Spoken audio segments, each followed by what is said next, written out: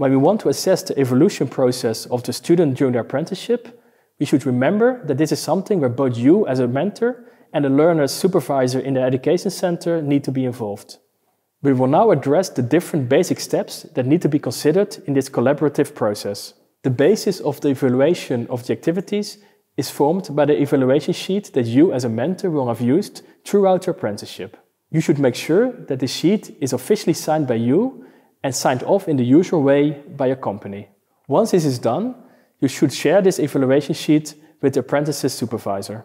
Together with the apprentice's school supervisor, you review the work and learning the apprentice has done while they were at your company. Normally, this review and evaluation is based on a notebook that is being filled in by the apprentice throughout their work with you. It is important to make the link between the work the apprentice has done and what they have actually learned from it. In other words, together with the apprentice's supervisor, you should assess what are the competencies the apprentice has acquired throughout their apprenticeship.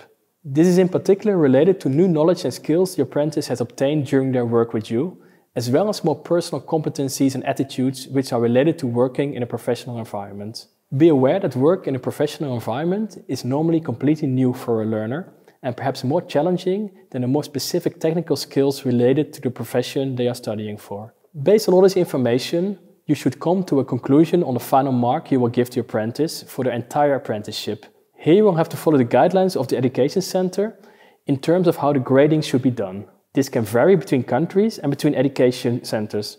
It can, for example, have the form of a percentage between 1 and 100, a mark between 1 and 10, or a simple pass or fail statement. Whatever the system you are expected to follow, it is always important to remember that the final mark should be a true reflection of the learning outcomes the apprentice has gained.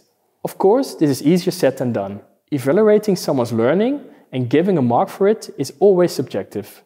But to make this process as fair and reliable as possible, there are a few things you can take into account during the evaluation process.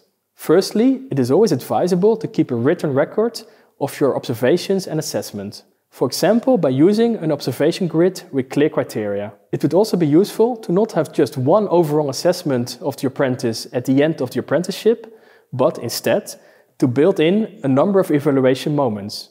Also, make sure that the evaluation instruments you use cover all the learning outcomes. For this, it can actually help to use a combination of different evaluation methods.